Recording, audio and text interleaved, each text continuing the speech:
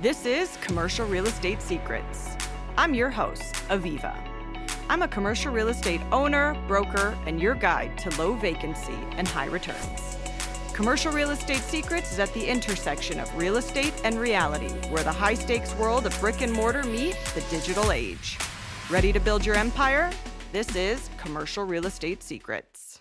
This week on Commercial Real Estate Secrets, we have a very, very special guest, Mr. Gary Vaynerchuk otherwise known as Gary V. Gary is one of the biggest internet personalities of all time. This month alone, he just released his sixth New York Times best selling book, Day Trading Attention. Gary is a purebred entrepreneur, documented. He's built multiple businesses from scratch, one of which in the last nine years does over $200 million in revenue, profitable, not valuation. Gary's personal brand has over 44 million followers online with over 300 million monthly views across platforms. To be entirely honest with you, Gary has been my idol for next to a decade. Gary gives away free business advice online. And over the last 10 years, I built a company, The Warehouse Hotline, uh, based off of his free advice. So this was a really exciting podcast to film, to talk to Gary about the biz, and I'm very, very excited to share it with you all. And with no further ado, I give you Gary V on Commercial Real Estate Secrets. Thank you for being on Commercial Real Estate Secrets. First off, congratulations on Day Trading Attention hitting uh, New York Times bestseller. The book was amazing, it's very well deserved. Thank you so much. I have six questions. Four minutes for each question. Are you ready? I am. Okay, let's begin. In 2019, you told me to hop on TikTok, and I did. It's paying dividends now, four and five years later. What should we be doing today that we can expect to pay dividends in four and five years? That's a great question. So, things like TikTok. So, the premise of day trading attention, in the new book is there are overpriced and underpriced behaviors in marketing, in everything, in business and life. But there are things that are higher value, and there are things that are quote unquote wastes of time or not as good of a deal. I wrote the book right now because there's actually no answer to your question. Meaning, every so often, a platform comes along and it's so big and people don't see it yet. And that's when I scream all over social. And I've done that obviously with you know, Snapchat and TikTok and YouTube Shorts and many other things.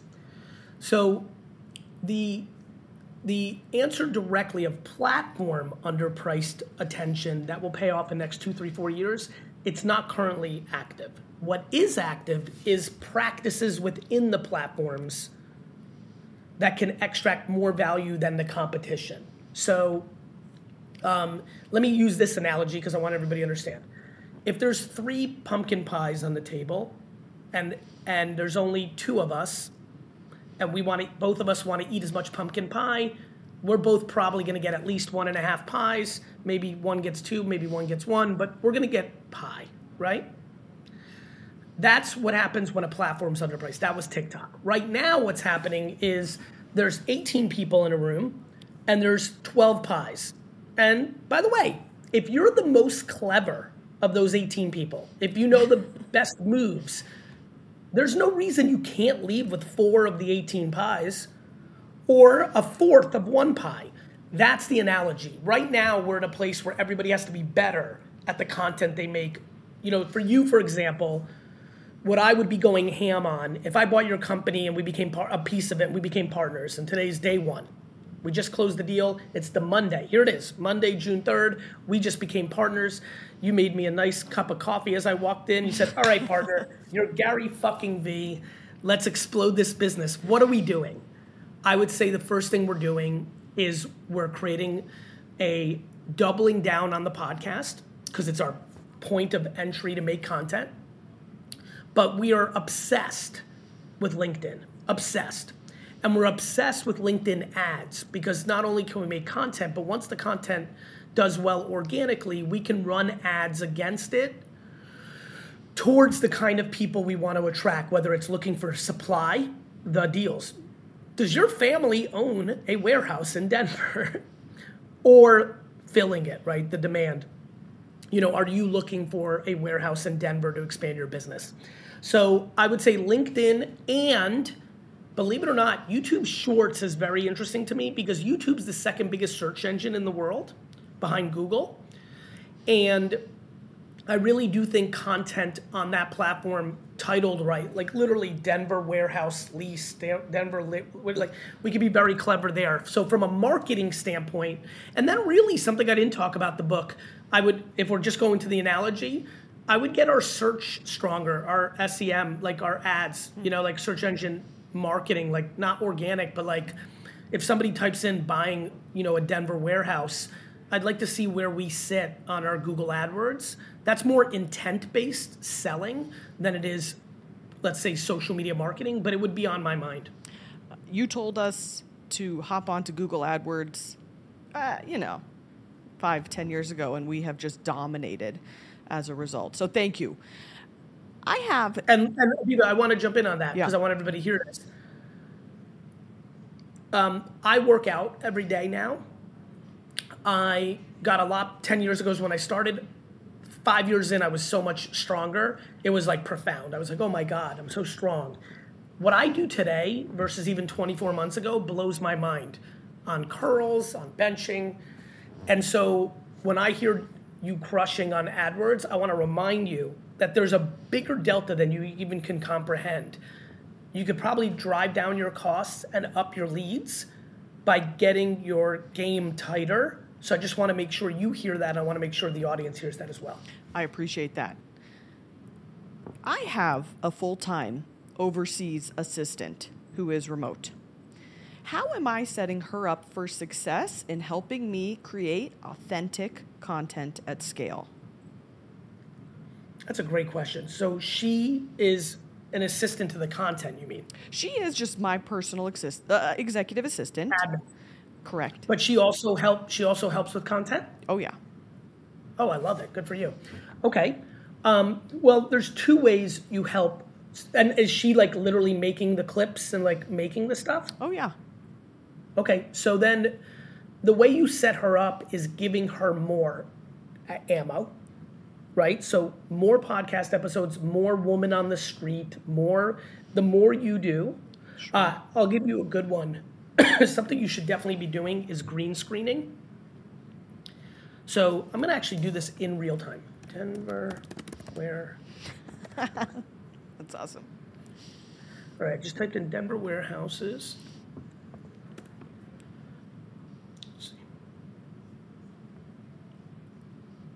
Great. So there's an article from the Denver Post on February 18th.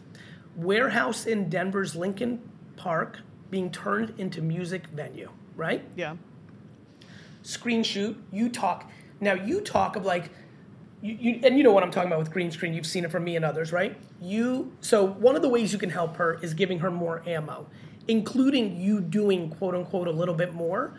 The green screen's incredible. The fact that you can talk about like here is a use case for the, what we're seeing in the Lincoln Park area and just in warehouses in Denver in general. A lot of you think of it as just like fulfillment centers, but there's so much more you can be doing with it.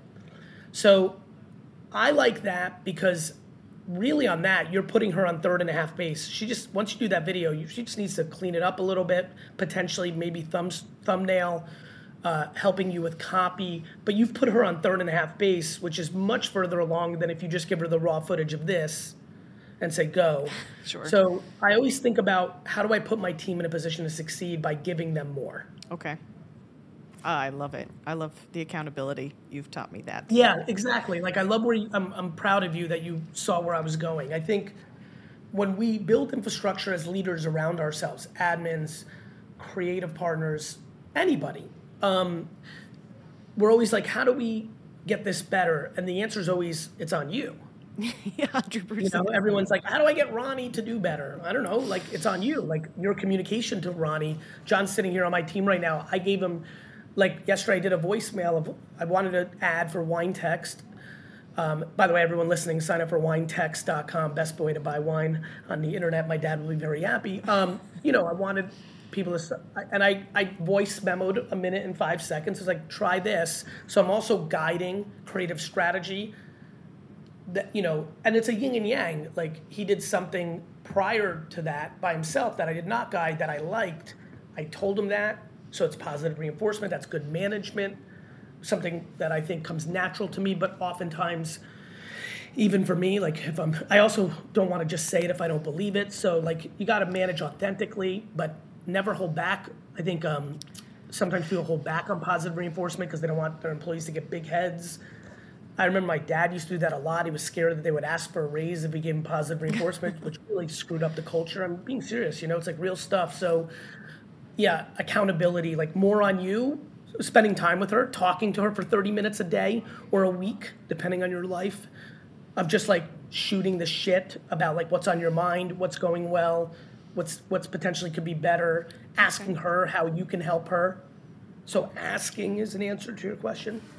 I, I laugh about your father's business.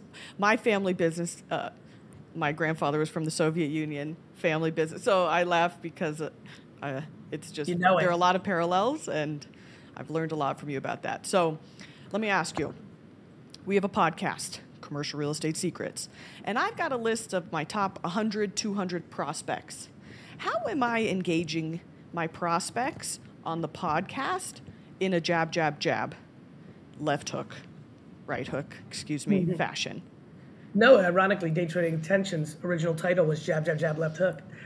Um, one more time, Aviva, I want to make sure I really understood that. I have the podcast. I have my top 200 prospects. I find it awkward to be like, hey, be on my show and convey that uh, eventually we would like to work with you in your warehouse in Denver's in Denver. How am I giving them the jab, jab, jab, right hook? By, I love this question so much. It's okay that you would like to do business with them, but don't put them on your podcast with the expectation that that's what they owe you. Okay. Give without expectation, but understand the serendipity may work itself out. That's the key. The reason I wrote jab, jab, jab, right hook, the premise for everyone who's listening is everyone on social was struggling because they just wanted things. They were selling the whole time. And so I was like, give, give, give, and then ask. And don't mix your give and your ask. So what you asked there was, hey, Gar, it feels a little bit yucky, or I don't know how to make this work for my stomach. I feel like because you were mixing them Yeah. right? You were mixing mixing the ask and the and the give. Just put them on. Okay. And yes, of course, like to me, the way I would do that is after you have a lovely podcast, whether you do it then because you feel like you hit it off, or you do it in the future, um, this is how I would do it. So let's say you're on my podcast, we'll reverse roles. At the let's say it really went well. We just hit it off. We laughed about our grandfathers from Russia. We laughed about our kids went to the same school. We laughed about both being into some sort of watching Bridgerton because you know podcasts can go anywhere, right? if it goes well, no different than like a first date where you ask someone out for a second date, or no different than like you met somebody in fifth grade and you both had a nice time on the playground. You're like, you want to come over to my house and be friends? Like, you, I think if it went well, especially if you did it in person, which I, I highly recommend, Okay. right? Especially because you're in the same market. You're being very, you know, I'd highly recommend doing it in person.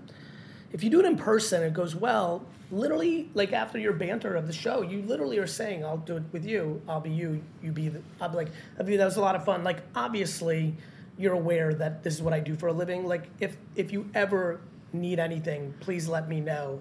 Uh, hope you have the best day. Like, always around. Thank you. That's it. Literal, simple, like, hey, um, or if it didn't go like as smashing well, it was kind of professional, didn't seem like the opening there was, I would literally wait six months to a year and reach out via email and be like, hey, maybe even a year. Hey, it's the one year anniversary of our podcast together. Um, thinking back to it was a lot of fun having you on. Hope everything's been going well. How's that uh, development thing you're doing down in you know downtown? Uh, just to remind you, maybe wasn't even on your radar. This is what I do. Um, would love to you know grab a drink and talk business if there's anything around. I just think those are very respectful ways. But when they don't reply or they don't reciprocate, it doesn't even con- it doesn't even run through your head as if anything went wrong because you didn't put you. Of course, you understood that you may be able to do business with them on the back end, but you know the punchline is you really are okay. You you put them on the platform without actual expectation that it would 100% lead to business. Okay, I love it. Uh, now I want to navigate. You have a book coming out in July. Meet me in the middle. Uh, I am eight months pregnant with my first child. Wow. Yeah. Amazing. I know. Woo. How do you manage a family while still being a thought leader in your field?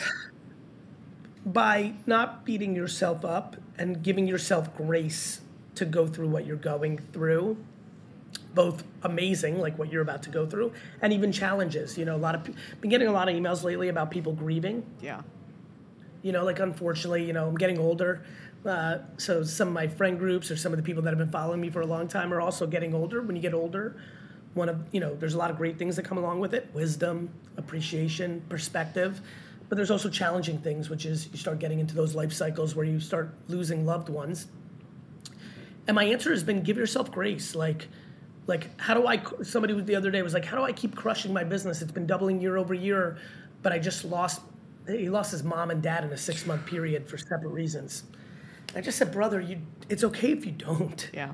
Like you might be cliche and like lean into your work and you might triple but you're gonna it's not sustainable and you're gonna have to get that pain out at some point um, so I, I would say to you if you like you know first child being the mother you know fathers have different variables than mothers you know, this child's in you. I always tell my all my buddies who struggle that their kids like their mom, the mom more than them. I'm like, bro, they were in them. I'm like, there's only so much we can do as dads. They're like, like we're in them, physically in them. Like I always find that fascinating. Of course, there's a different thing with your mom. Like you grew in there. Um, so you know, for me, I look at it as if I'm again, if we're best friends since grammar school and we're like just talking on the phone, I'm saying to you like, hey, Viv, like, just fucking enjoy this first year. You're gonna have all sort. You have no. First of all, you have no idea how you're gonna feel. Right? There's all that stuff. Right? Is it easy? Is it hard? Postpartum this, like support from like. There's just like it's real life. Sure. You know, it's real life. I think giving yourself grace that this next year, who knows what it's gonna be and but but I want to be 70 and look back at that I gave it my all for the child more so than the business. But don't also, if on the second day of the child's life, if you're like excited to grab your phone and like email a client, you're not a horrible mother. Like you're you're a human being that is lucky that they're passionate about what they want to do, and like balance comes in all sorts of shapes and sizes. So, my answer to you is give yourself grace. Okay. Yeah. Uh, meet me in the middle. That's you know, I, I I'm very excited to read the book because I have a feeling you're gonna bring light to all ages with this one. Yeah, the VeeFriends thing is, you know, for everyone's listening, I have this Pokemon meets Sesame Street IP called Be VeeFriends, and like, it's a real fun mission. You're right. I really some of the stuff I've been able to do as a human being for 15 and older, I'm now on a journey to do for three and older, four and older, five and older, and so you know, these characters are fun. This kid's book is really fun. I'm really excited about it. And the premise of Meet Me in the Middle, it's all about emotional, it's back to this. Find the middle, find the middle. Don't get too hot, don't get too cold. Don't get too blue, don't get too red. You know, you know, find the middle. Patient pig and eager eagle is the story and you know, patience is remarkable, but complacency is not. Eagerness is amazing, but sloppy you know, non-strategical, go forward at all costs is also not good. And so mm-hmm. finding balance is the key for sure. Uh, my daughter, my future daughter's name is Oakley. Anything in the coffer for the Oak Monster? I love that. You know, Oak Monster is a character for everyone who's listening that comes from my wine library TV days. It was a fake character I used to reference when I would have a wine that had too much oak in it. Um, yes, there is. There's, you know, that's the coolest part of building out this world. I've got all these notes I take and ideas for the future of this IP, and I'm really excited about it. And so, plenty of plenty of uh, stuff for the Oak Monster in the future, and um, I think you'll love that. Okay, hey, as a Minter OG VeeFriend, I am having the time of my life. It's a blast, and thank you because myself, the, our community. Uh, we're just having, like I said, we're having the time of our lives. So thank you. Thank you. And I'm excited to push it on to the next generation. And Oakley's going to be an oak monster for Halloween for until she has an idea of other anything else. So thank you. So cute. All right. Thank you. My last question. How do you present a holistic version of yourself while choosing not to include your kids in mm. your hmm. content? That's a great question. So, you know, I, first of all, I don't think, let, us break down your question. So, obviously, I share a lot, I, I'm very out there. And as you know, I, I don't really share my personal life. Um, I think that personally, I think that over the next decade or two, that will become more common. I think we're in the era right now where people are really sharing a lot. And I don't think they realize what happens when you share your entire engagement. You know, and like like when you you know, when you give people when you give the world things, it's theirs, not yours. Hmm. Right? So I think that there's a lot of things that people haven't gone through yet in their lives. And I also think that people mistakenly use their children and their relationship to get more likes and, and attention. And I don't think they think of the back end.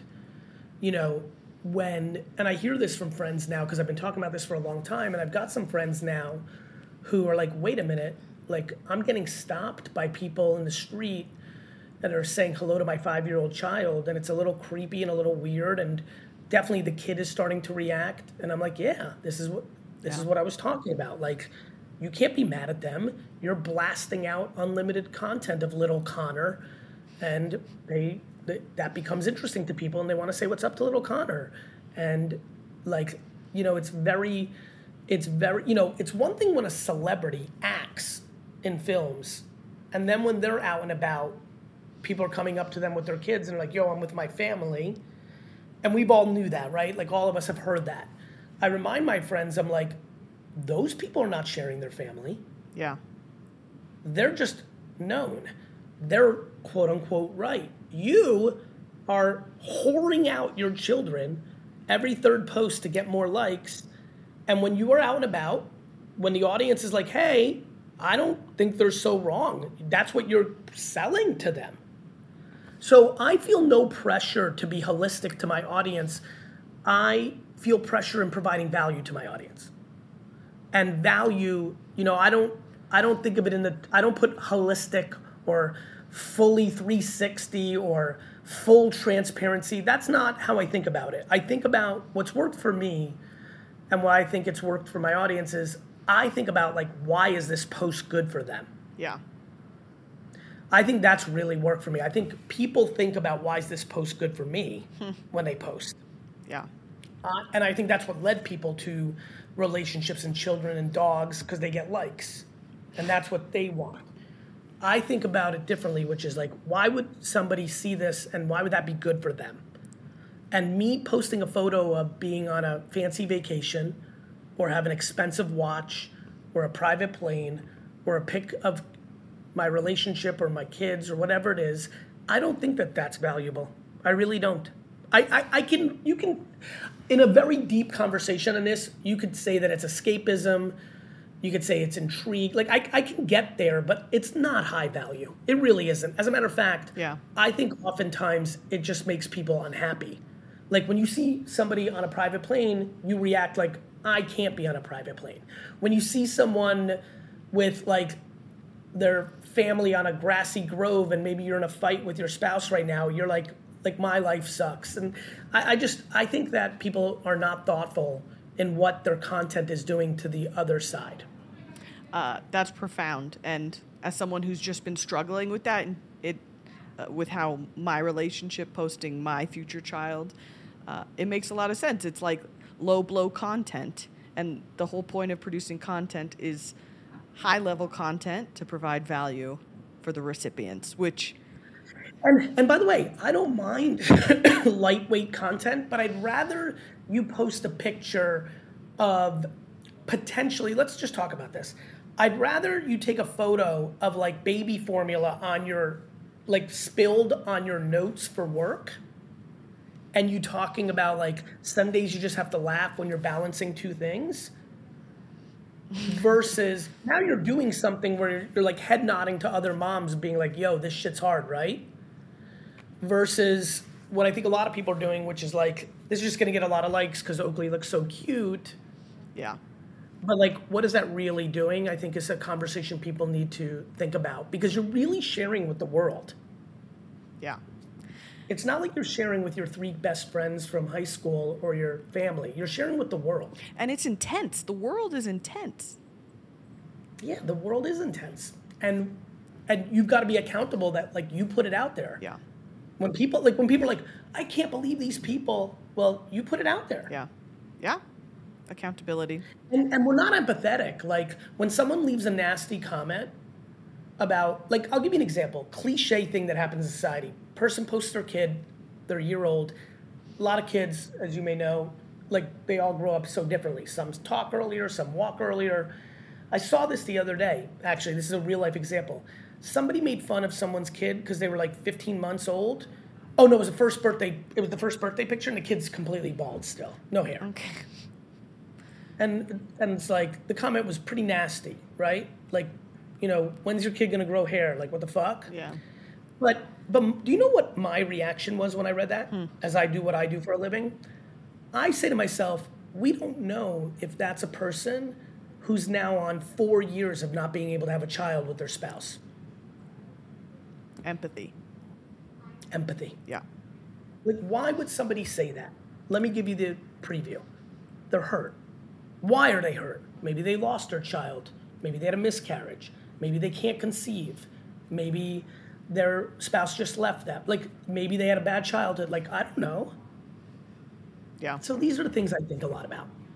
Gary, thank you. I really, really appreciate your time. I appreciate you being on the podcast, and I appreciate everything you do for myself and our world. So, thank you. Thank you. Have the best day. Thank Congrats. you. I appreciate you. We'll see you soon.